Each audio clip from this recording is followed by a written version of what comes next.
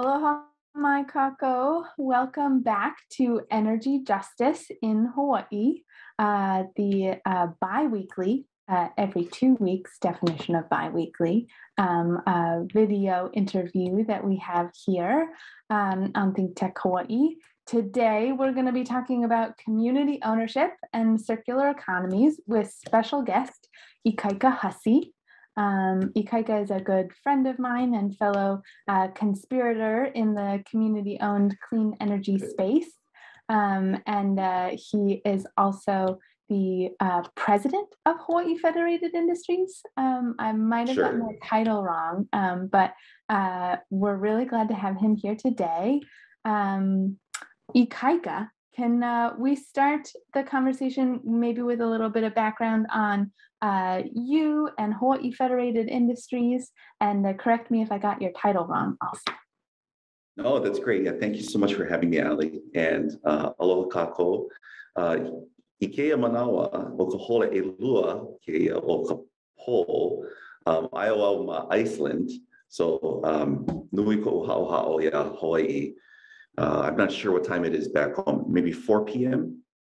Is that right? Okay. All right. Um, Yes, so I, you know, I'm from Hawaii. I just happen to be in a very different part of the world at the, at the moment. Uh, i live in Kalihi Valley. My background is in community organizing, uh, labor organizing, and you know, a few years ago, um, my my wife, who most recently was at the Sierra Club, she came home from a talk that Bill McKibben had given her, or that had given, and um, she she was sharing that in in the talk, Bill McKibben said that you know climate is different from every other issue, from any other issue that I had ever worked on, sovereignty, um, you know, decolonization sort of stuff. And, you know, it's, it's that it's an issue that has a, a deadline. And we've, you know, over the last couple of years, I think we've all come to realize that that really climate is is the big job of this decade.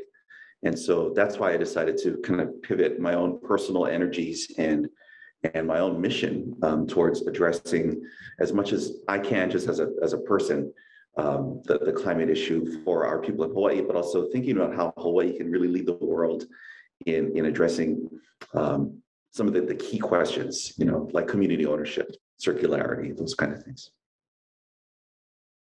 Awesome.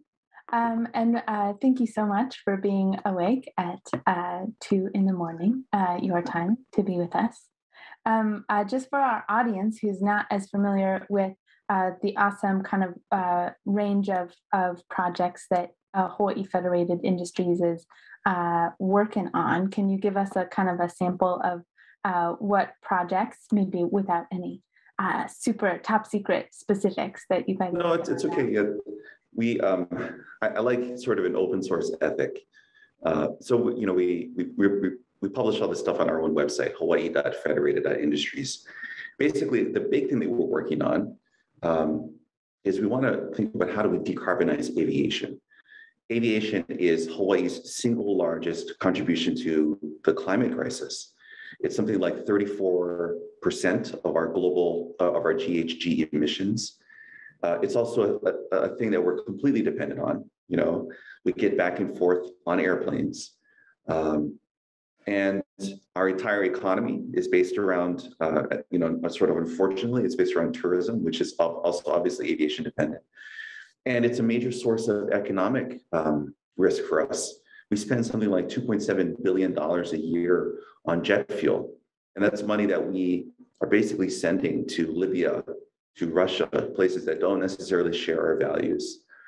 Uh, and so these are all, you know, big kind of questions that frame how we're thinking about aviation and about the, the role that we can play in, in climate because uh, aviation is one of those things that is, is regarded as a hard to decarbonize industry. You know, along with you know agriculture, um, marine shipping, those are all very difficult to decarbonize because of the, the relative uh, energy capacity of, of batteries versus liquid fuels. Uh, so our, our goal is by the end of this decade is to try to decarbonize Hawaii's aviation contribution. Amazing. That's an amazing goal. Um, uh, just a couple of years away, but we can do it. Um, We can do it. Yes. Uh, I'm I'm uh, curious about community ownership and how you see community ownership fitting into the work that Hawaii Federated Industries does.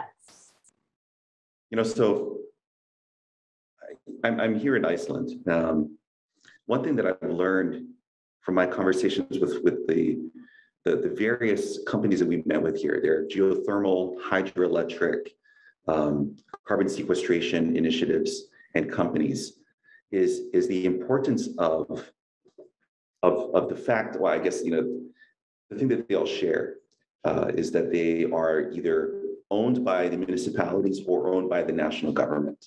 You know, there's corp, there's kind of like sub corporations in the middle, but at the end of the day, these are publicly owned and publicly driven um, projects.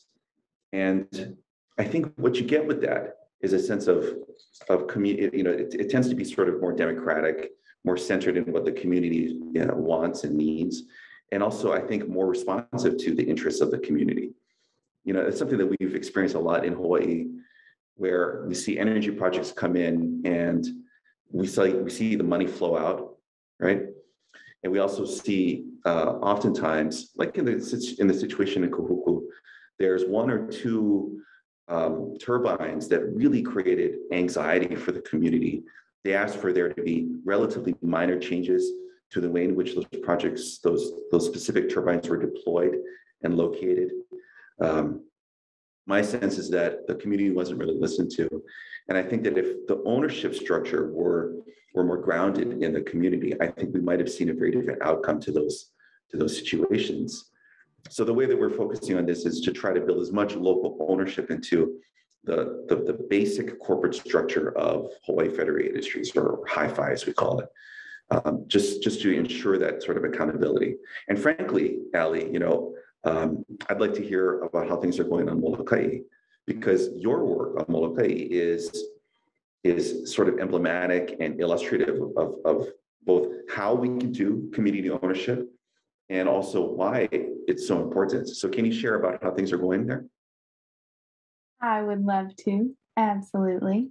Um, yeah, I think I think about community ownership in in a lot of the same ways that uh, that you just expressed. And, and I think the, the group that uh, we work with on Molokai, the Ho'ahu Energy Cooperative Molokai, uh, is this new entity that has formed just for the explicit reason of um, of owning renewable energy generation. There might be um, uh, other projects uh, that the um, co-op might pursue in the future. But for now, we're just talking about this one solar and battery storage project. Um, and I think that uh, and uh, the project would be owned by a newly formed cooperative um, uh, of just residents of Molokai get to be members of this cooperative. And I think that responsiveness that you talked about is exactly uh, one of the benefits of having community ownership because you know nobody else is going to make these decisions uh, for where the project should go and what it should look like and which kind of solar panels uh, should we buy um, other than the community group itself uh, and i think we're still kind of figuring out like what does the format of that decision making look like uh, i think that's that's pretty new to go down to the very technical like should we choose this solar panel or that solar panel? And and if it's from this company should it be this wattage or that wattage? But we found that uh, community members broadly have been super uh, curious and empowered by the idea of uh, understanding what the decisions are to be made and then making those decisions. And uh, of course, we have some uh, decisions that don't go like so smoothly, uh, that there's some back and forth, there's some discussion and, and trade offs between decisions. Uh, but I think for the most part, that responsiveness has led us to be able to move pretty quickly over the last year and a half, going from project idea to now uh, some uh, support, a, a, pretty good amount of uh, financial support and organizational support to be able to do um, a pretty impressive project for the scale of the island, uh, for sure. Um, yeah, I mean, I mean, we, we see it, I think, in the energy market in general, that there you, could be a massive, well-funded corporation and still run into problems Mm. getting an energy project delivered. Uh, and we, you know, we see a lot of problems with that right now. I, I think actually there's a greater possibility of these projects coming to fruition with a, with a real community base because it's clear who wants it, right? Mm. The, the, the people of Molokai want this project to be delivered. And so they will demand it. They're going to call you, Ali, when, when, when there's problems. They're going to fundraise for it. They're going to hold, you know, their, their political leaders uh, responsible and accountable. They're, you know, so that's, it's really important for it to be a demand-driven project.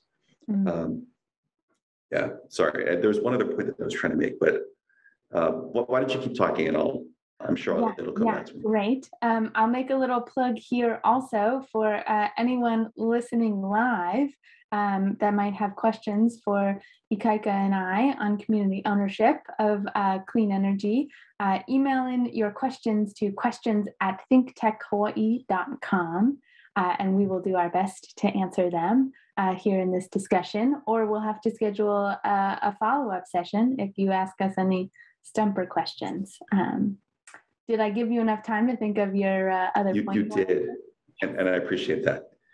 What I wanted to mention is that we've, I think in Hawaii, we've gotten out of the habit, or we sort of lost the, um, the, our knack and, and our, um, our familiarity with this sort of community-driven uh, approach. Mm, It used to be really common for us to do large engineering projects as a community. And what I'm thinking about when I, when I talk about that is, is are, are things that are beyond our lifetimes, but not beyond our memory. So for instance, um, I grew up in Kaneohe and just up the road in the Kuala area from where I grew up is a He'eia fish pond, which you know, it's 2021. I think it's about 800 years old at this point. And that's, that's an example, uh, but only one of many of, of these examples of Hawaiians coming together to do incredible engineering co- projects and to do it collectively. You know, a few years ago, there was a, a there was a, a community workday where the organizers of Paepae o He'eia asked for volunteers to come to Panikapuka to close the hole. There was a gap in the in the hole in, in the wall in the fish pond. And it was a beautiful day. There were hundreds of people all carrying stones, you know, and the stones were different sizes, different sized people can have different sized stones.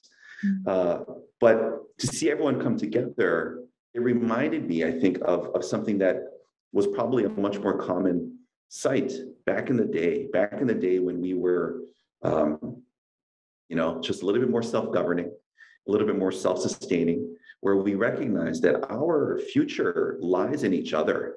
It's not about money. It's not about even technology. It's actually about us as a people working together.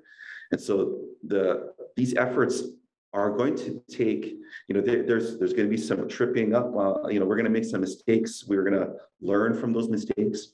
But ultimately, it's about building a stronger community, and that's the key, I think, for us um, fundamentally of, dealing with this massive transition in order to to um, deal with, confront, and ultimately re- reverse the climate crisis. I mean, for for HiFi, that's really our goal. Is you know we think of it as kind of a, a threefold thing. It's to reverse climate change primarily, and then to also strengthen and make our island economies more circular, and then create good local jobs because we need, you know, fundamentally more healthy economy, a more healthy society. Mm. Mm-hmm. Um, I'm curious, uh, in prepping for this session, I thought of three specific pros of uh, community ownership. Um, uh, and I want to uh, read them, well, list them to you and, and hear if you have any others to add to that or any uh, nuances there. Um, the first one is kind of the one that we've just been talking about that responsiveness, the like community members have better knowledge to build better projects that are uh, use our resources better. Uh, they're, they're um, uh, and and they kind of they solve the problem. They they they fill the puka way better than somebody externally could, I believe, uh, and I think we're we're proving that out. So one is better projects because we have better local knowledge. The other one is um, uh, better, like more equitable decision making because the, the person who financially owns the project gets to decide who do we hire, where does it go, what does it look Mm. like, where do we source our equipment from, um, which historically a lot of those decisions can have reverberating effects in a community. And so if the local community is deciding who gets hired, we can hire more locally. Um, and so the decision making is really important um, uh, about where we build things. And then, as well, the last one uh, that I think is really important is the wealth creation and kind of distributing. Right now, uh, our big companies that are that are um, owned by maybe a few individuals uh, have kind of have uh, centralized the wealth in in a few individuals, and I think community ownership can be that great way of distributing uh, collective wealth. Is um, across a community and keep retain that wealth that like uh, incremental amount of money that a community otherwise might have paid that got extracted uh, to a bigger company outside of the community it kind of uh, uh, remains circular in the community and helps build that wealth and keep that wealth locally um, Yeah. do you have any uh, additions to that or like nuances there or do you not agree with any of those Uh, I make it a habit of agreeing with the host of any talk show that I'm on. but but seriously, you know the um, you know these projects wouldn't happen. There wouldn't be so much uh, external interest in doing energy projects in Hawaii unless it were a good business, right? Hmm. That's that's that's how we. Um, that's the only way to understand. I think what's going on, and so it makes sense for those projects to be uh, to be benefiting local people fundamentally. It has to benefit our our our community, or or we got to change the you know the way that we're doing these things. Yeah, absolutely. Yeah, absolutely. Great. I love to be agreed with.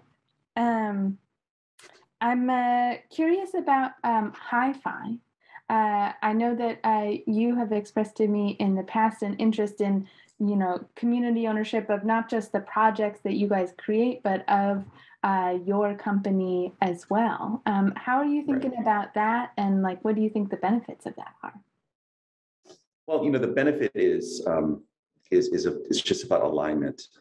Uh, you know, I come out of a community organizing background, and so for me, being aligned with with my community is it's the only way that, that I can sleep at night. You know, it just it keeps things copacetic and it feels pono if it's grounded in our community. So that's the benefit of it. Uh, I the, the way to the way to do that is to structure the finances of the company such that the, the owners are the folks you know around us, um, our friends and families, our you know the the soccer coaches and the you know the ministers and, just our neighbors. That's that's who should be um, controlling and and driving, frankly, the direction of our work. Um, it just seems to be the most consistent way to do it. Yeah, and and you know, if you want, I can expound a little bit more about kind of what I'm imagining for the future of, you know, obviously, so we're starting with a really tough project, right? We're starting with this thing that's like a, that's a decade long um, project. Uh, we do have a few other things that we're that we're thinking about working on, and we mentioned them on our website a little bit. Where we're looking at some opportunities with regards to the invasive eucalyptus um, uh, plantation that was planted in the Hamakua coast about 20 years ago, I believe. And you know, we're we're we're trying to figure out a strategy that would allow for the community in Hamakua on the Big Island, um, uh, not not Hamakua on, on Oahu, to to begin to kind of reposition their natural resources away from plantation system. You know, previously was sugar, now it's eucalyptus, to something which is more regenerative, more based on on native trees and native plants, and more about kind of uh, feeding the economic needs of the community directly. So, the, I'm sorry, economic and also cultural, you know, needs. Uh, so we're looking at different products that can be made out of the eucalyptus. And so we're doing a couple of what we're calling R&D projects, just straight up research and development, looking at for instance, biochar, which is uh, a way of uh, basically uh, pyrolyzing a um, some biomass or, or, a tree and turning it into a carbon neutral or even a carbon negative uh, soil additive, uh, basically burying the carbon in the soil. So we're looking at doing biochar. We're also investigating and, and researching and developing um, different kinds of furniture or, or building materials that can be manufactured from the eucalyptus with the goal of essentially monetizing the biomass and, uh, and allowing for the land to be returned to native forestry and to regenerative agriculture. So that's that's another project that we're working on for Hamakua. Amazing. Um, that is awesome. Uh, when you think about a specific project like that in a specific area, do you think about uh, uh, hi-fi um, uh, as like a broadly community-owned company across the state of Hawaii that then owns uh, a project uh, on Big Island, owns a project on uh, Oahu, or do you think about it more locally uh, in terms of like the folks who live in Hamakua owning that project and the folks who live on the Kona side owning a different project? How do you how do you think about that? I guess the way that I think about it is, you know, I, I take the word federated. I, I, think that it's a fun word for me. Uh, what, what I'm imagining is that if if we can uh, accomplish our goals with the R&D. Like that's a big if, mm. and I don't want to oversell it. You know, we are we our goal is to do essentially scientific research to figure out can we make a useful product mm. um, in, in, in terms of biochar and building materials, et cetera. But once that's you know, if we can prove it out, then that becomes a little business that can be structured as a cooperative, like a formal workers cooperative or just as a more generally you know small business with with employees et cetera. But that entity you know would hire it would have its own group of people that that work with or work for that group. Um, and it would generate livelihoods for those people in you know wherever they are and if they're in hamakua then then it is to the benefit of the people of hamakua mm. hmm hmm i think that is a really cool uh, I, I think about community ownership sometimes like at, at the at a wide scale like a national government is also community ownership in in a way um, but sure. sometimes like the the farther away the many levels between the individual person who gets to give input on a project and the powers that be um, somewhere in that power structure sometimes uh, the like responsiveness gets lost and and the distribution of wealth uh, equally gets lost uh, and yeah. i think that what you are describing is a good way of kind of like layering uh, co-ops uh, to to yeah. Keep that responsiveness I mean, one, one way we're one way that we've been thinking about doing it in Hamakua, and it depends, frankly, on whether we can prove out the numbers. Um, so that is an if. I, I, don't want to, you know, I want to be kind of real about that.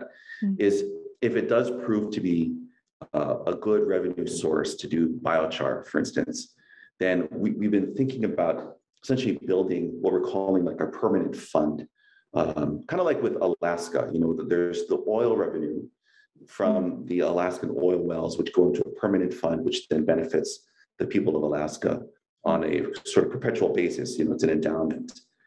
Um, we're thinking about doing something like that for Hamakua because really what, what that community needs and what I think a lot of our communities that are going through an economic transition need is a dependable source of revenue that can fund the future changes that, you know, whether that's planting native trees, you know, um, doing more energy projects, um, you know, uh, supporting cultural and educational programs, raising up new new generations of young leaders.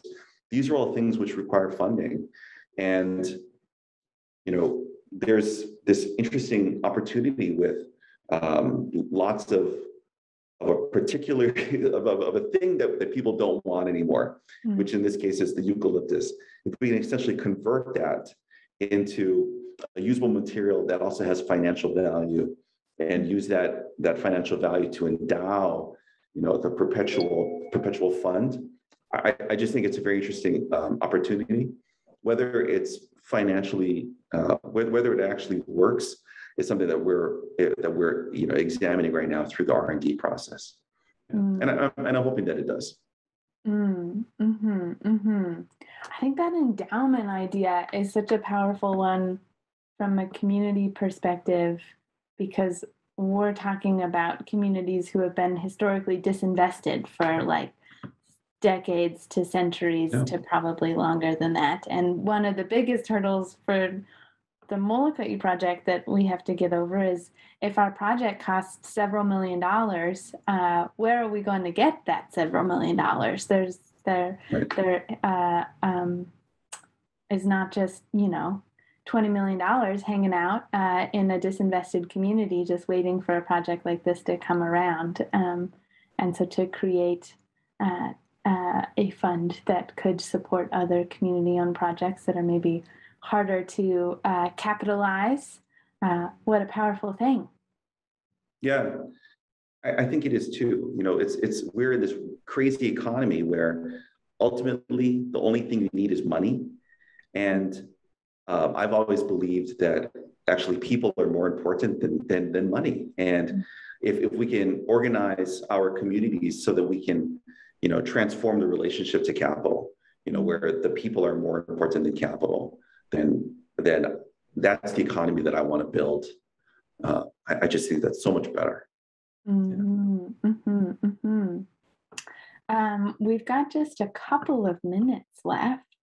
Um, uh, do you have any closing thoughts you want to share with our audience or things we should ponder for next time? Well, you know, actually, Ali, can you share kind of what are the next steps with Molokai? You know, um, yeah, Yeah, yeah, I would love to. Uh, so we just uh, um, found um, some news out a couple of weeks ago that we're uh, looks like we're aiming for a February due date for our proposal to the utility for this community-owned solar plus storage uh, CBRE project. Uh, so we're kind of ramping up uh, to to put in all of our deliverables and make sure that we have commitment for financing um, uh, for that project and have a clear picture of where it's going to go and, and what the engineering diagrams look like. Uh, there's a pretty heavy lift between uh, now and then. Uh, we've got four, three meetings left before the end of the year. And then in January, we'll kind of be tying up loose ends with the community group about uh, the subscription model and um, the precise layout. Um, and then and then once we submit that proposal, we kind of wait for six months uh, while working on uh, to hear whether we get the contract from the utility, and then we get to move along there. Uh, and then we're off to new projects like microgrids and uh, workforce development training and all sorts of other uh, programs that they're really excited about. that's great. I'm really glad to hear about the progress that Molokai is making. Yeah, it's really, you know, you guys are setting the, the course that I think a lot of us can follow behind. Follow. Well, thank you. Um, and mahalo for joining me again at 2 a.m. from Iceland. Uh, you are a champion. Um, I really appreciate it. And I look forward to chatting more about community ownership uh, in the future. We'll have to have you back on. Sounds good. Thanks so much, Ali. Thanks, Think Tech. Yeah, thanks.